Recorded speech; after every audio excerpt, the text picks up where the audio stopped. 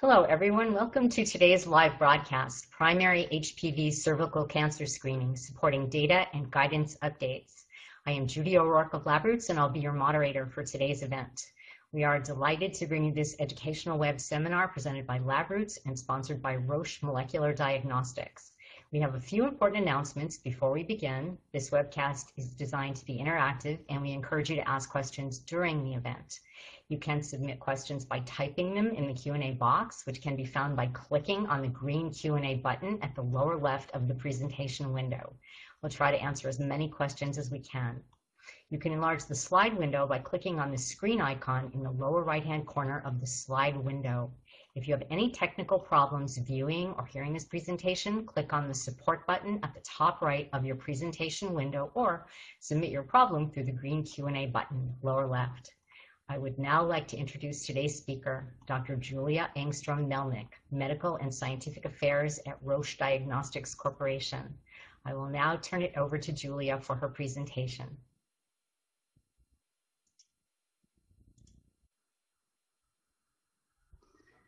Thank you, Judy, and good afternoon, everyone. So we are entering a very exciting time for cervical cancer screening. Uh, just this past year in 2014, the FDA approved the very first HPV test for primary HPV uh, screening for cervical cancer. And just last month, in 2015, uh, we have the first published interim guidance around the use of primary HPV uh, screening for cervical cancer. So this talk is designed to give you a little bit of a background uh, to these new advances and also to provide a little bit more information on, on the guidance document as well. So the PAP was first introduced uh, in the 1920s by Dr. Uh, Babes and uh, Papanicolaou. And soon after its introduction, it became evident that this technique could potentially reduce the burden of cervical cancer by finding developing cases, allowing for earlier treatment and preventing further progression. Countries began introducing screening programs based on this test in the 1950s, and in 1975, ACOG published their first cervical cancer screening recommendations, which included annual pap testing for women 18 years and older. This adoption and widespread use has led to a dramatic reduction in cervical cancer rates. But despite these advancements, um, there are some limitations to cytology-based screening, and we need to reduce cervical cancer screening rates further. Um, here on this slide are two audits, one by the Kaiser uh, Patient Registry and one from the Swedish National Health Registry, looking at the screening history of women diagnosed with invasive cervical carcinomas. The most obvious or the most significant need in reducing cervical cancer rates is obviously reaching the under-screened or the non-screened women. Um, in both registries, the large proportion of women with invasive uh, cervical carcinoma either were not screened or did not have a recent screen within the last five years uh, prior to the diagnosis. But we do still see cervical cancer affecting women that have been screened. Um, in Kaiser, about 32%, and in, in Sweden, about 24% of women with invasive cervical carcinoma actually did have a recent screen, and, it's a and it was attributed to a failure of cytology to detect uh, any precursors. So it's important to understand the limitations of the tests that we use if we hope to improve upon them. It's well known that one of the main limitations of cytology is its low sensitivity for detecting high-grade disease. In fact, there have been multiple attempts over the years to improve its sensitivity, including work, introducing workload limits, uh, liquid-based cytology, and computer-assisted screening. However, these attempts have done little to impact the overall low sensitivity of cytology, or on the detection of AIS and adenocarcinomas. Also, because cytology relies on a subjective impression of cellular changes uh, in cervical cancer precursors as they occur, there is often very low reproducibility. And cytology can identify women with advanced disease, but will not provide any insight as to whom may be at risk of developing the, this in the future. Therefore, cytology has very limited long-term predictive value. So despite the implementation of cytology-based screening, the incidence of adenocarcinoma is increasing. This demonstrates that cytology-based screening methods are missing adenocarcinomas and their precursor lesions.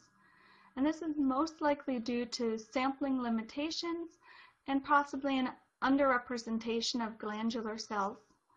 When relying on a, a testing method that has very low sensitivity, this type of sampling bias has even greater implications um, because they are just simply missed.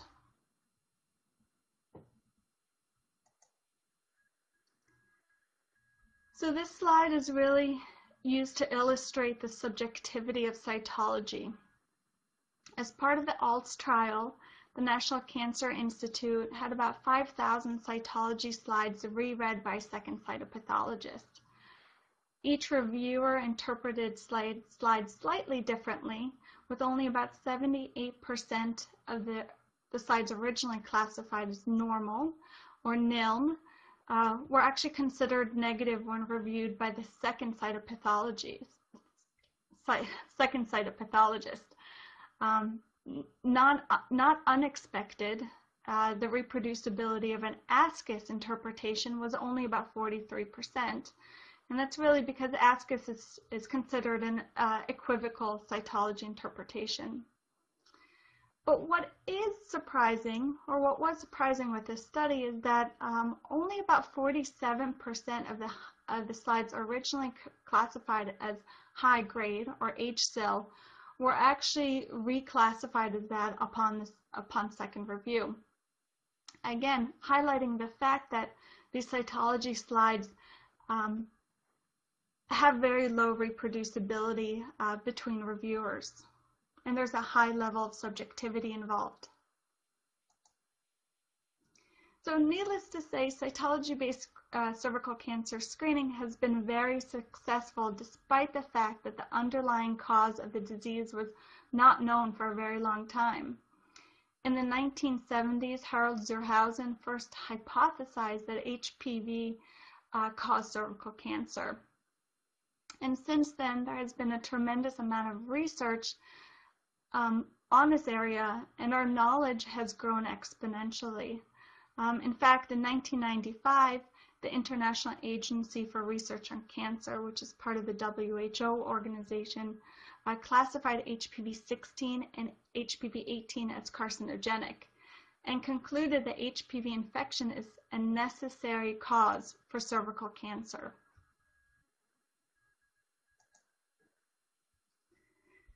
Today, we know that almost all cervical cancers are caused by a small number of HPV genotypes. The association between HPV and cervical cancer is exceptionally strong. For example, the odds of having cervical cancer if a woman is HPV 16 positive versus HPV negative is 435. Um, and compare that to the odds of a male smoker versus a non-smoker for developing lung cancer, which is only 8.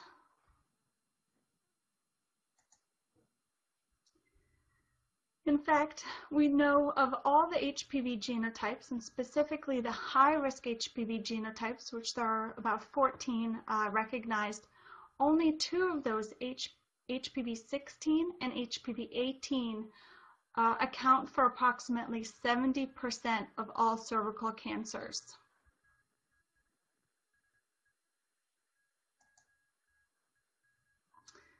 So with this, the FDA approved the first HPV test in 1999.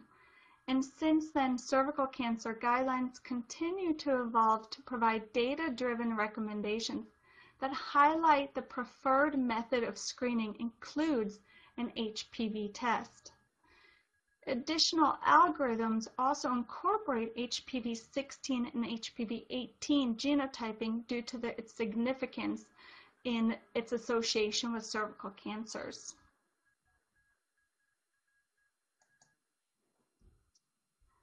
With our, even with our evolving understanding of HPV and despite growing awareness of cervical cancer screening limitations, Cytology-based screening remains one of the most widely used screening algorithms. This relies on cytology. Typically, this relies on cytology followed by an HPV test for ASCUS uh, interpretations.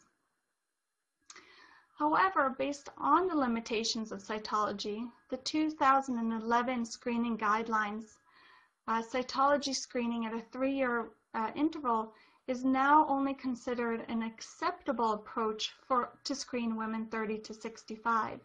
It is not the preferred method. For women 21 to 29, uh, it still remains the only screening option or had remained the only screening option due to concerns around excessive HPV positivity in, in this population.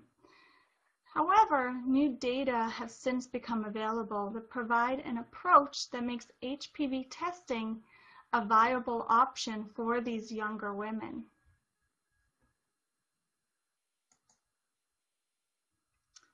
In these same 2011 screening guidelines, uh, for women 30 to 65, in incorporating an HPV test alongside the PAP is now considered the preferred method for screening. The use of the HPV test increases the sensitivity of the initial screen and allows for extended screening interval. In this algorithm, the HPV test is used in combination with cytology and helps drive uh, management of these results. Uh, for a woman that tests negative by cytology and uh, negative by HPV, uh, the woman should be rescreened in five years. If there's an abnormal cytology result of an ASCUS, um, but the woman's HPV negative, uh, this, the same risk stratification applies, and the woman is, is again uh, should not be rescreened until five years. For ASCUS and HPV positive, as well as uh, cytology results that are more significant than ASCUS, uh, immediate colposcopy is, is uh, recommended or indicated. However, where the HPV test lends itself uh, to improving uh, screening for these women is for the women with normal cytology but HPV positive results. These women can either be rescreened in one year, or if a 16 and 18 genotyping is used, women with 16 and 18 positive results should be referred to colposcopy. Uh, those with negative 16 and 18 results can be rescreened in one year.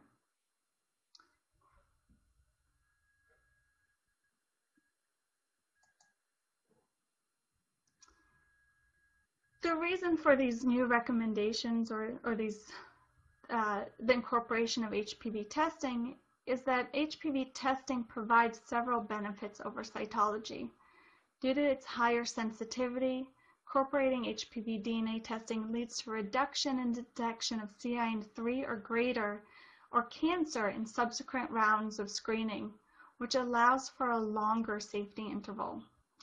HPV DNA testing improves detection, the detection of AIS and adenocarcinoma. And HPV is the first necessary cause of a human cancer ever identified. Its presence identifies women at risk of developing cervical cancer and can also be used to help uh, stratify that risk to find the women at even the highest risk of cervical cancer and more importantly, its absence provides reassurance of low, short, and long-term cervical cancer risk.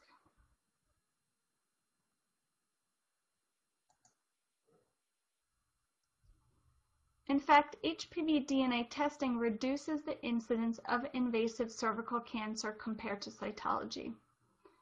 Here is the pooled data from four large-scale European screening trials. The, this included over 176,000 women and over 1.2 million person years of follow-up. Between two and three years after screening, there begins to be an increase in the detection of invasive cervical cancers in women who were cytology negative, which is the gray line, versus the women who were HPV negative at baseline, which is the blue line. Overall, HPV DNA-based screening reduced the cervical cancer rates by 60 to 70%, demonstrating that when compared to cytology-based screening, HPV DNA testing offers greater safety and reduces long-term incidence of cervical cancer.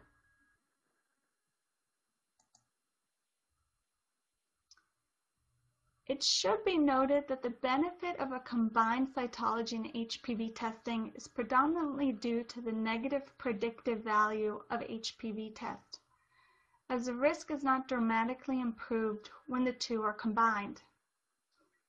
But when it comes to the risk of cervical cancer, there really is no statistical difference. HPV testing alone provides the same reassurance against cervical cancer as a co-test.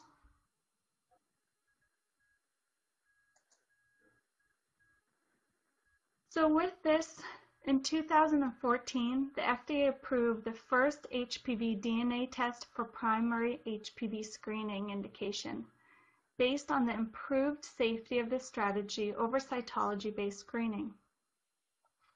In response, following review of the FDA submission data, and finding some newly published uh, large-scale studies, SGO and ASCCP jointly published interim guidance for the use of primary HPV screening.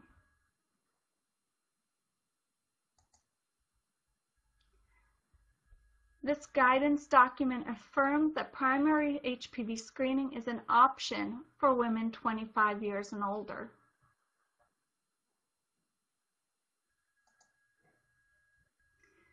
So this is the algorithm that was described in the guidance document.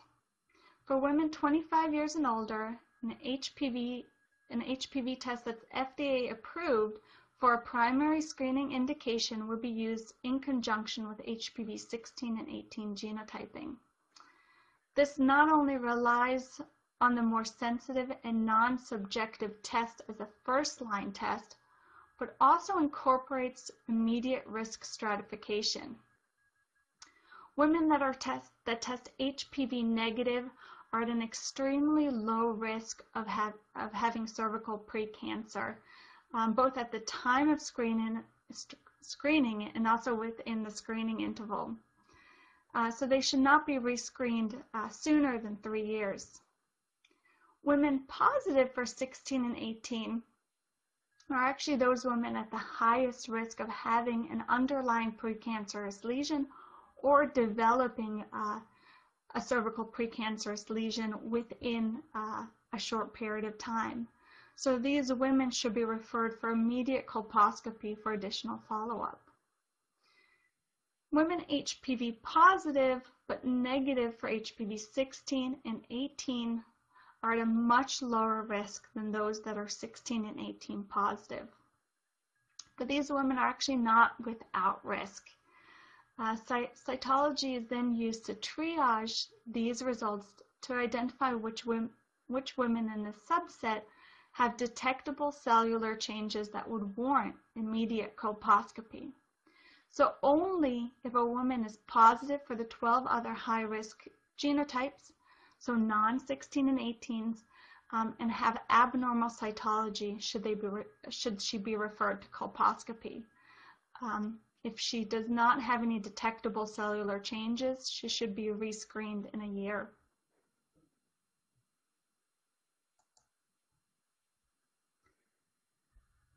So the guidance document was developed based on an extensive literature and data review.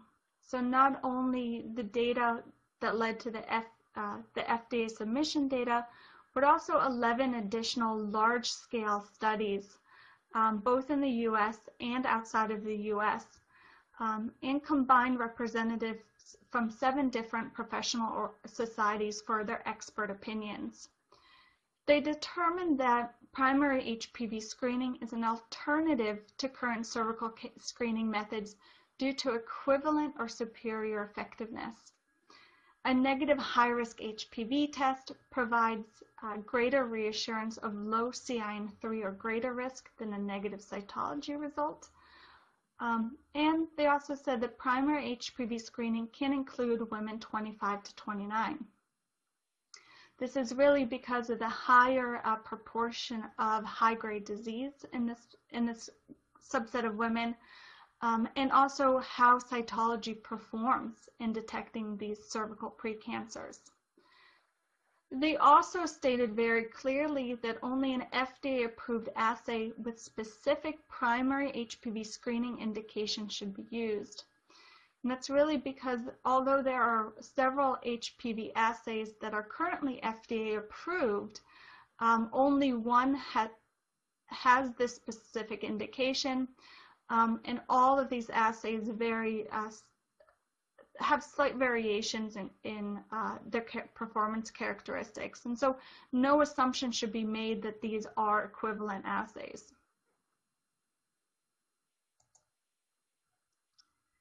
So the effectiveness of primary HPV screening is mainly determined by the risks associated with the negative screening result risk of CIN3 or greater over three years following a negative HPV test at baseline, which is the, uh, the lower curve in blue, is half that following a negative PAP result uh, at baseline, which is the upper curve in, in gray. As expected, the rise in the slope is much more pronounced following a negative uh, baseline PAP result than a negative HPV result. And this really highlights that long-term risk assessment is limited when only assessing current cell abnormalities. So there's a much greater level of safety following a negative HPV result than a negative cytology result. And these findings uh, from Athena were also mirrored across other uh, large-scale studies. Uh, so this is a table taken from the new uh, uh interim guidance document that was that were published in 2015 or just last month. Um, and across all these studies, a negative HPV test resulted in at least half the three and five year risk of both CIN3 and greater and cervical cancer uh, than cytology.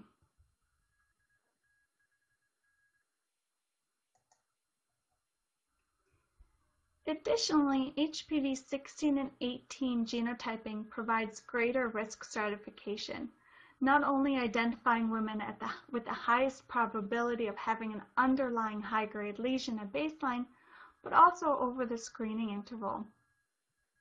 In Athena, one in four women with a baseline HPV positive result developed CIN3 within three years. Although lower than HPV 16 positive women, HPV 18 positive women were still at a statistically higher risk of developing CIN3 or greater than those positive for the 12 other high-risk HPV types, exceeding 10% risk of, for CIN3 within three years. Women testing positive for the 12 other high-risk HPV types were at a substantially lower risk of CIN3 or greater, reaching about 5% uh, within three years. So whereas HPV status will predict which women are essentially free from risk, HPV genotyping more accurately predicts which women will subsequently develop high-grade cervical cancer precursors.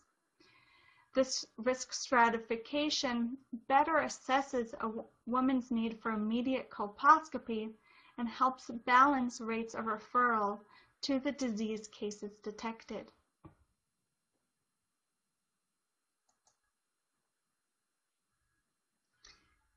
As we try to simplify and improve how we screen by introducing primary HPV screening, a consideration must be made as to when to initiate this the screening. Uh, the 2011 U.S. screening guidelines did not recommend HPV testing for women 25 to 29 years of age unless it's used as a reflex to an ASCUS PAP. This is largely due to the fact that HPV infections are very common and typically transient in this age group. However, in the recent interim guidance, the professional societies did acknowledge there's a high burden of CIN3 in this age group and cytology, which is the standard of care, performs poorly in this population. But because these new recommendations are a departure from the previous guidelines, there are a few questions that we really should address. Uh, one is why include women 25 to 29? How is high prevalence of high-risk HPV and the referrals to colposcopy balanced in this age group? And what considerations should be made around regression of high-grade disease in young women? So first, let's look at the incidence of cervical cancer by age group in the U.S. Data from the National Cancer Institute SEER Tumor Registry shows that a sharp rise in the incidence of invasive cervical cancer occurs between the age of 25 to 34 years of age. Cervical cancer is unique, or cervical cancer screening is unique in the, in the fact that we detect and manage cervical cancer precursors before cervical cancer develops. So the ultimate goal of cervical cancer screening is not to detect cancer, but to prevent the diagnosis of cervical cancer altogether. So this suggests that initiation of screening should ideally occur during the sharp uh, increase in cervical cancer incidence just prior to the peak if we want to reduce those subsequent diagnoses. In practice, we actually do screen women over the age of 21. But the question really is, are we screening effectively?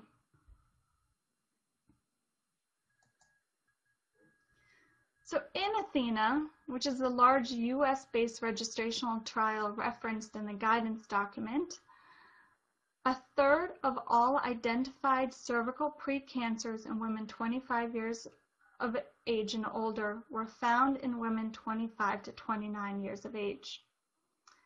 To put this into perspective, let's take a look at the distribution of these cases based on the number of women actually represented within each age group.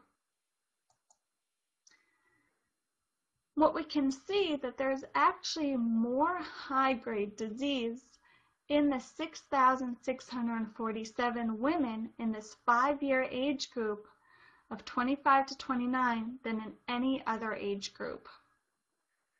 This demonstrates that the highest burden of disease is actually in women 25 to 29, so this youngest age group. And keep in mind, this age range is also right at the start of the sharp incline in cervical cancer diagnoses.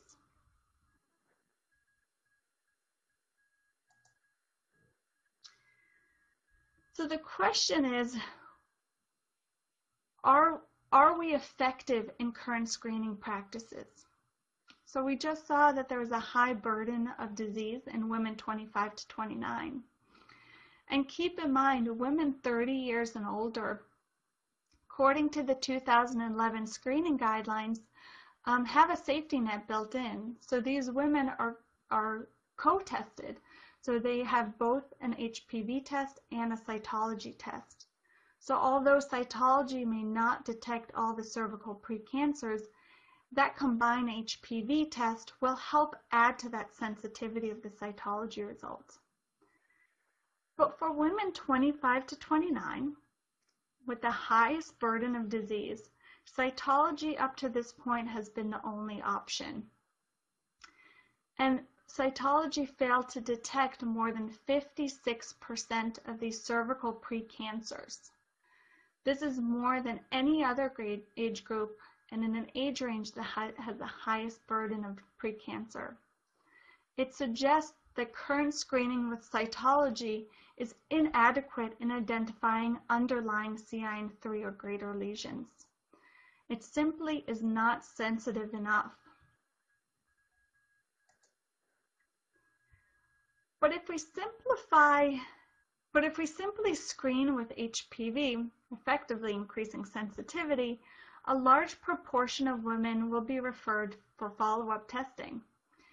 As expected, HPV positivity is at, is at the highest in the youngest age group and declines with age. In Athena, the, uh, the percent of women 25 to 29 that were HPV positive was about 21%. So how can we balance this high prevalence of high-risk HPV and the referrals to colposcopy in this age group? One way to reduce the immediate referrals is to focus on the group of women that are at the highest risk of cervical cancer um, and risk of cervical precancer. And these are the women that are HPV 16 and or HPV 18 positive. In Athena, only about 7% of women 25 to 29 were positive for one of these two genotypes. And the proportion of women 25 to 29 that were HPV or H16 or HPV 18 positive is actually much smaller than the number with abnormal cytology.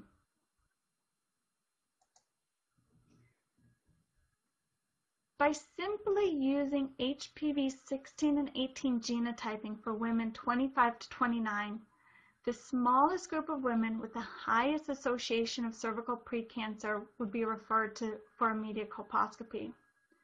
And with this shift in screening strategy for women 25 to 29, look how much better we can do.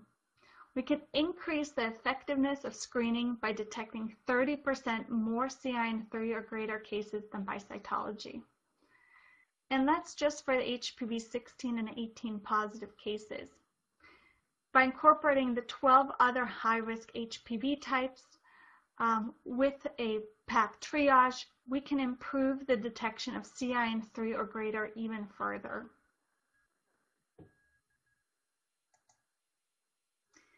It's important to note that high-grade disease found in young women is more likely associated with HPV 16 than any other genotype. And the mean age for HPV 16 positive CIN3 or greater lesions is below the age of 30. HPV 16 positive CIN3 was most commonly diagnosed in younger women versus older women, further highlighting the effectiveness of genotyping in screening younger women. In fact, even in the very youngest age group, so those women 13 to 24, which presumably have the overall highest clearance rates, HPV 16 and 18 positive lesions were less likely to regress than non-HPV 16 and 18. But we can even take this discussion a step further, and we can look at the overall effectiveness of varying, various screening methods, including uh, women 25 to 29. So in discussions of cervical cancer screening and screening modalities, in the 2011 cervical cancer screening guidelines, they acknowledge that the benefit of screening should be balanced against the potential harms with the total number of colposcopies serving as a surrogate measure for harm, and benefits being the overall detection of CIN3 or greater lesions. The Athena study provides an opportunity to evaluate both the benefit and potential harms of screening when various combinations of cytology, high-risk HPV testing, and genotyping for HPV 16 and 18 are used to develop a screening algorithm for women 25 years and older. For simplicity's sake, the focus will be on three algorithms supported by U.S. screening uh, guidelines. The first is cytology, which relies on HPV testing to triage ASCUS results for women 25 years and older. The second is the co-testing strategy, relying on a one-year co-test rescreen for women with normal cytology and HPV positive results. Keep in mind that this co-testing strategy is only for women 30 years and older.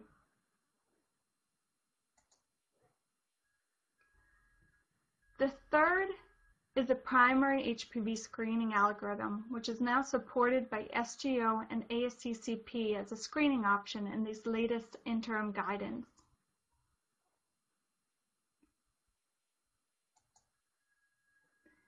Because the analyses evaluate the performance in two different age groups, women 25 years and older and women 30 years and older, certain modifications to the co-testing screening algorithm must be considered. For women 25 and older, it's actually going to be a hybrid strategy. Um, and it combines the cytology method for women 25 to 29 combined with the co-testing algorithm for women 30 years and older. For women 30 years and older, this hybrid strategy is actually uh, going to be more of a co-testing strategy or solely co-testing.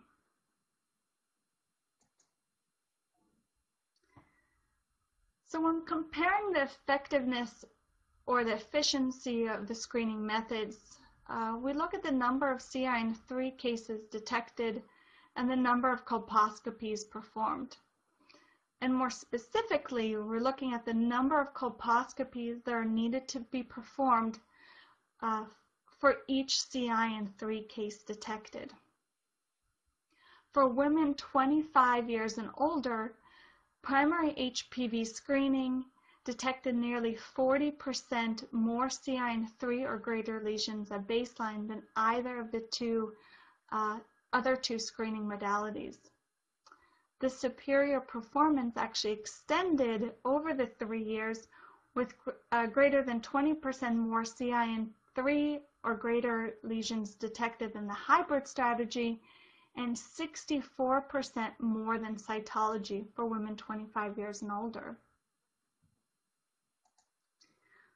For women 30 years and older, primary HPV screening detected nearly 30% more CIN3 or greater at baseline than either of the other two screening methods. By year three, it detected 50% more CIN3 or greater cases than cytology, and the co-testing method nearly caught up. But keep in mind that many of these subsequent cases may remain undetected if a loss to follow-up is a concern in various clinical practices. Although higher than cytology, the number of colposcopies performed per identified case of CIN3 or greater for primary HPV screening was nearly identical to the hybrid strategy and also the co-testing strategy uh, for both age groups.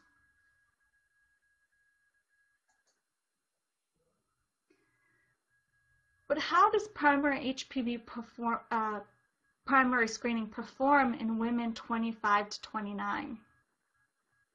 By extending HPV primary screening down to age 25 from 30, 102 additional CIN3 or greater cases are detected, versus only 51 for cytology. That's, actually, that's exactly twice the number of CIN3 cases uh, detected by primary HPV screening then would be detected by cytology. With this increase in sensitivity, the number of colposcopies would naturally also increase.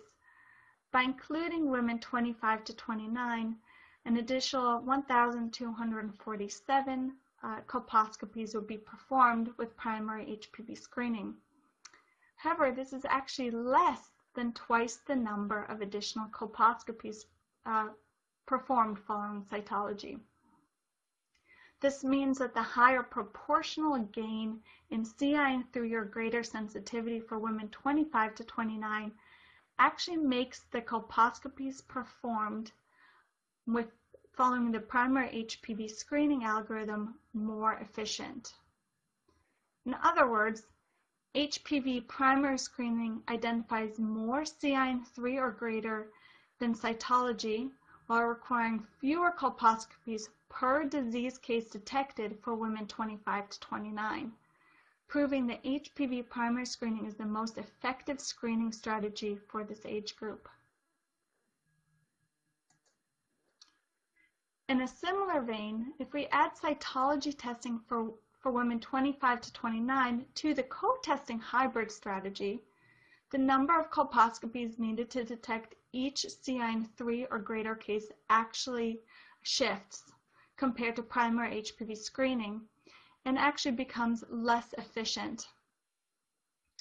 This is mainly due to the significantly fewer cases of CIN3 or, or greater cases detected when relying on cytology.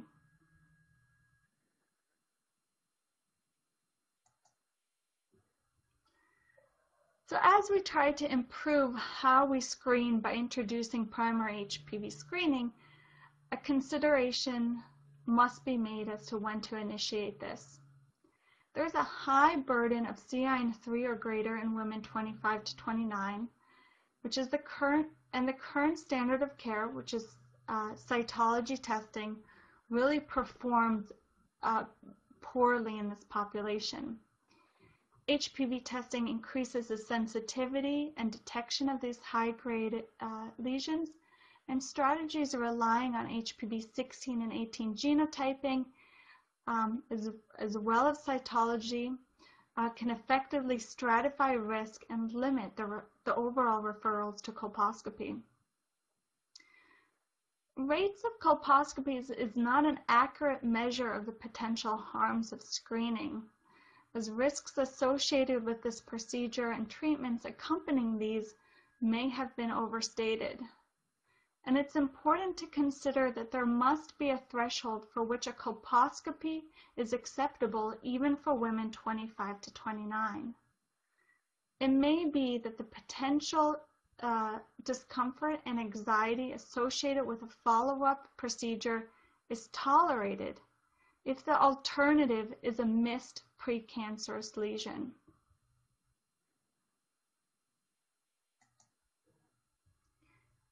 It's clear that cervical cytology appears to have reached the point where it alone is unable to do, reduce cervical cancer rates further.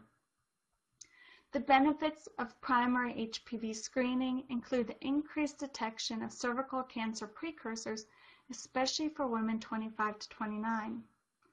The best balance of benefits and harms using HPV testing as a first-line primary screen is a triage strategy, that include integrated HPV 16 and 18 genotyping, as well as cytology of the 12 other high-risk HPV uh, genotypes.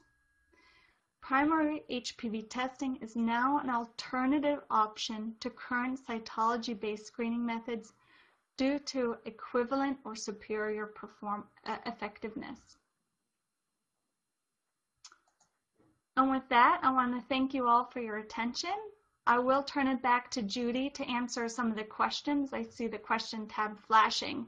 Uh, so I want to try and address as many as I can within the allotted time.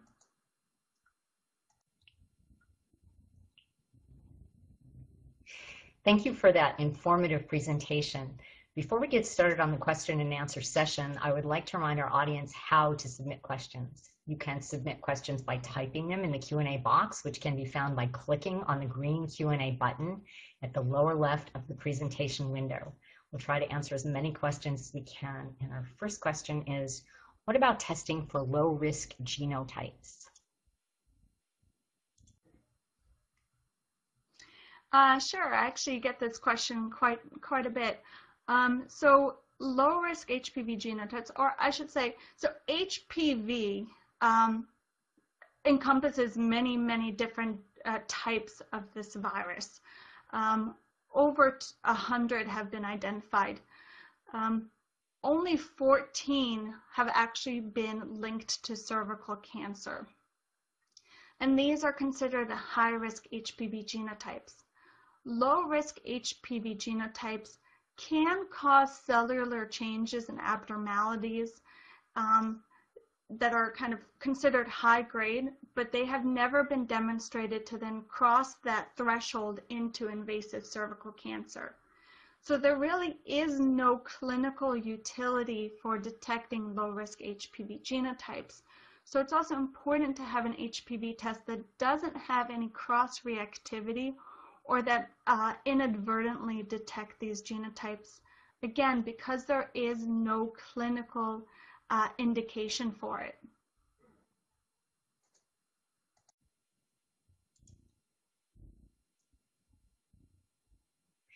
Okay, our next question. Does the FDA labeling require cytology as a reflex for all HPV positive or just non-1618 results?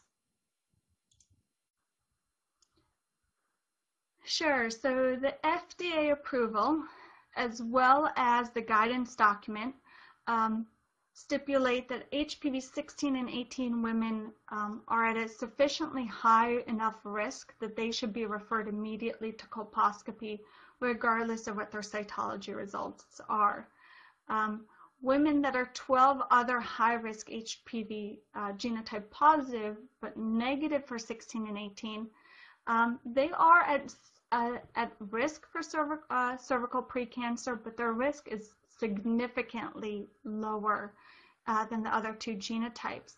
Um, like I mentioned, these women are not free from risk entirely, so cytology is then used to really help stratify that risk a little bit better or kind of fine tune that risk uh, a little bit more. Um, HPV positivity is actually can be very high in certain populations. So we do not want to send every single woman with an HPV positive result to colposcopy, but rather uh, the women at the highest risk are the ones should, that should be followed and potentially managed at that time.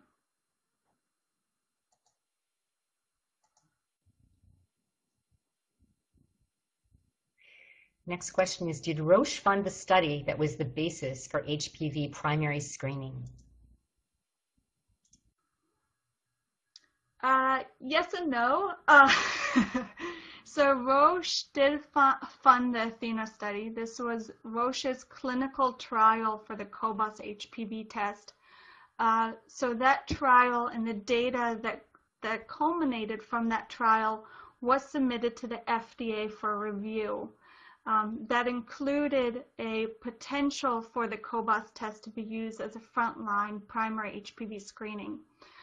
Um, the FDA reviewed that data uh, alongside a, a panel of experts, a, a medical, with the, their medical device uh, panel, um, and it reviewed that data for safety and effectiveness. Um, and they independently independently then gave a stamp of approval based on that review to the test.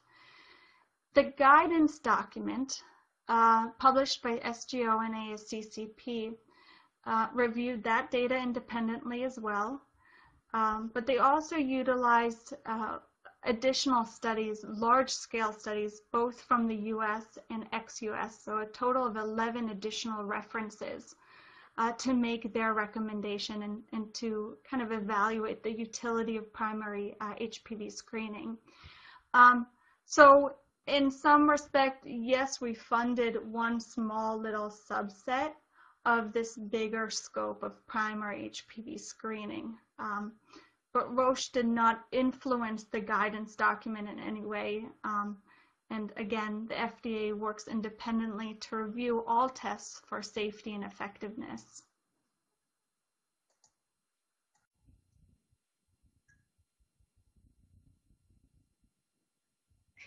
What percentage of CIN3 plus are missed by HPV primary with Roche in your clinical trial?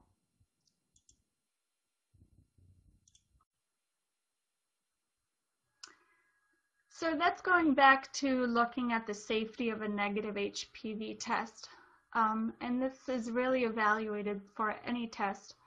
Um, what we look at or how these trials are, the clinical, how this particular clinical trial was designed, the Athena, was to really test, to really stress the test to its full potential or really make sure that we were detecting any possible case that could be missed by, by the actual test itself. Um, so women received a colposcopy regardless of for any abnormal result, whether or not be a cytology abnormal or H, or HPV uh, positive result.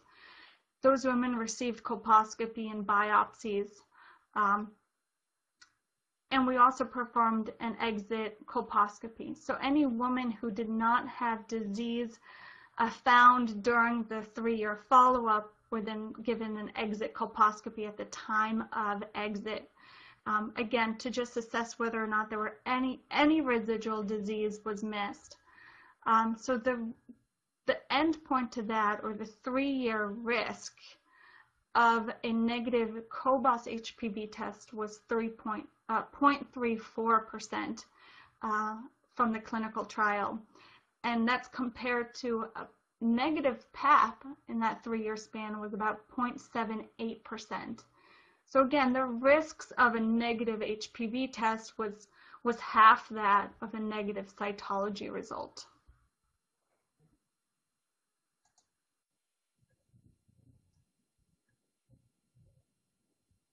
Do you know if types HPV 16 18 are more vir virulent than other types of HPV, or are they just more prevalent compared to other types?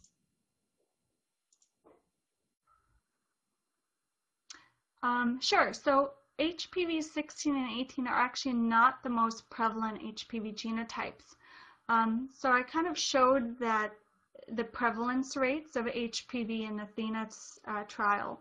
So just looking at the 25 to 29s, for example, 21% of women 25 to 29 were positive for HPV, but HPV 16 and 18 only accounted for 7% of those positive cases. Um, so that's a third of all the HPV positives. So they're not the most prevalent as, as an entity. They are the most virulent. And by virulent, I mean that they are highly persistent, meaning an infection with an HPV 16 or 18 is less likely to clear or regress. Um, they are more likely to progress, so actually increase in severity with time. Um, and with that, they are, and the time frame for that progression um, or that shift to more severe cases is actually much shorter than, than all the other genotypes. Um, so they are absolutely the, the most virulent. HPV 18 is also very unique because it has a very high uh, proportion, it accounts for a very high proportion of adenocarcinomas. Um, so that adds to its significance uh, for genotyping and cervical cancer screening.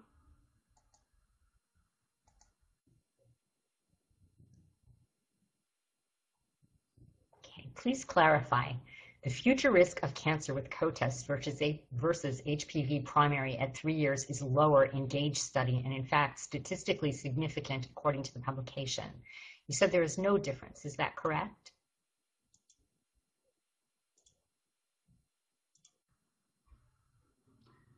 Um, so for CIN 3 or CIN 2, there's a, a difference, but for cervical cancer incidence, there is no difference.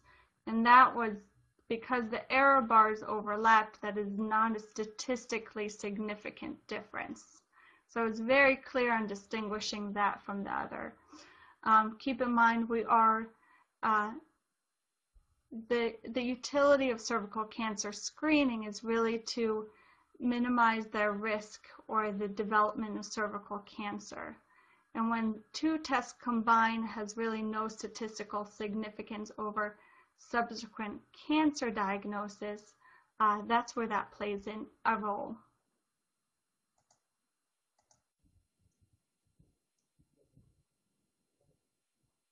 Your next question is a two-part question.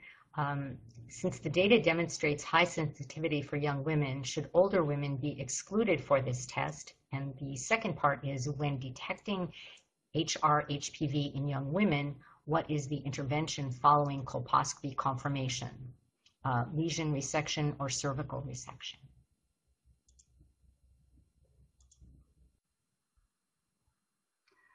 Um, so women over the age of 30 should be screened. uh, with cytology and HPV, um, again to assess their risks.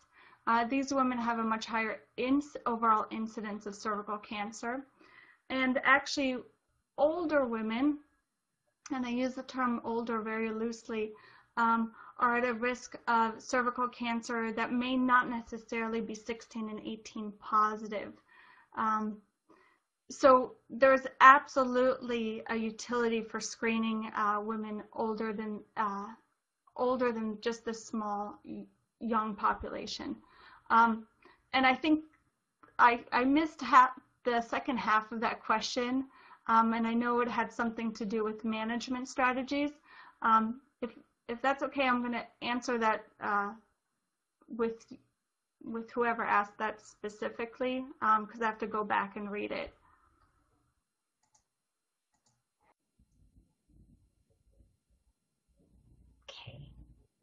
I believe we have time for one more question.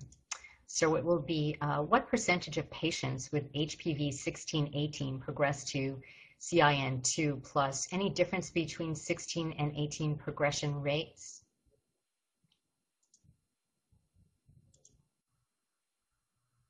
Um, yeah, so there's absolutely a difference in progression rates. Um, and uh, forgive me if I don't know those rates uh, right off the top of my head. Um, I can definitely follow up with the the um, the person who asked this question.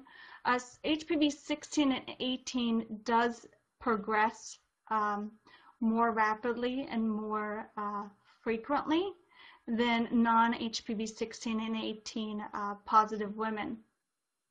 There's also studies that demonstrate that HPV 16 infections uh, tend to uh, progress much more readily in women younger than age 30 than those that are older than 30.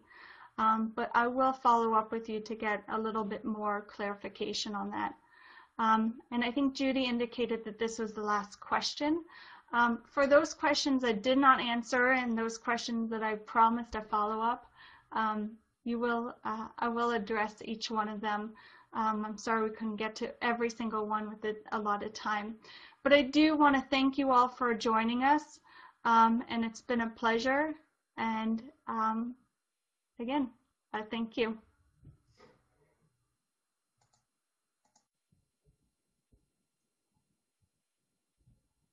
Unfortunately, we are out of time. I want to thank the audience for their interesting questions and participation in today's event. Any questions not addressed live during the allotted time will be addressed by the speaker via the contact information you provided at the time of registration. For more information, we would like to invite you to visit www.hpv16and18.com. I would also like to thank our sponsor, Roche Molecular Diagnostics, for making today's educational webcast possible. Today's webcast will be available for on-demand viewing through May 10th. You'll receive an email from LabRoots alerting you when this webcast will be available for replay. We invite you to forward that announcement to your colleagues who may have missed today's live event. See you next time. Goodbye.